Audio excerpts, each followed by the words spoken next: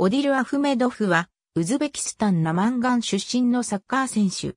中国、スーパーリーグの石化層栄翔足玉クラブ所属。元ウズベキスタン代表。ポジションはミッドフィールダ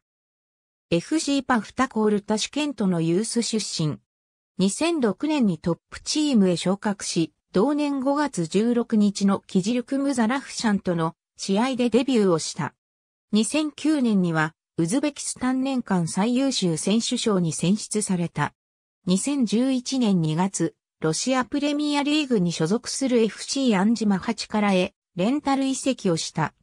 3月1日、ロシアカップ2010-11の FC ゼニと、サンクトペテルブルクとの試合で公式戦デビューを飾った。ロベルト・カルロスやサミュエル・エトーといったスター選手が所属するチームでレギュラーを務める。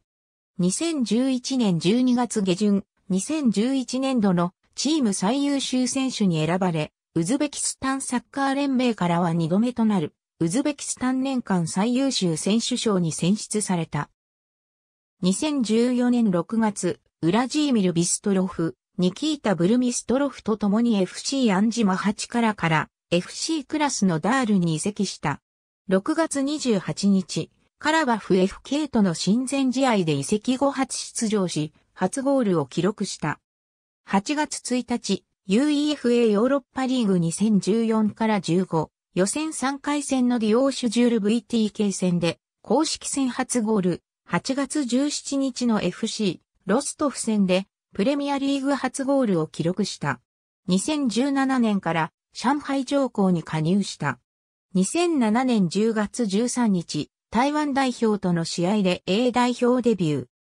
2011年のアジアカップのウズベキスタン代表にも選出され、CB 扱いながらも開幕戦では見事なロングシュートを決め、グループリーグ第3戦の中国戦では果敢な攻め上がりからの得点を決めるなどして、ウズベキスタンの攻撃を支えた。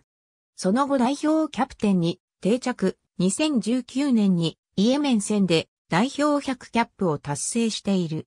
2022 FIFA ワールドカップアジア2次予選敗退後、2021年6月21日に代表引退を表明した。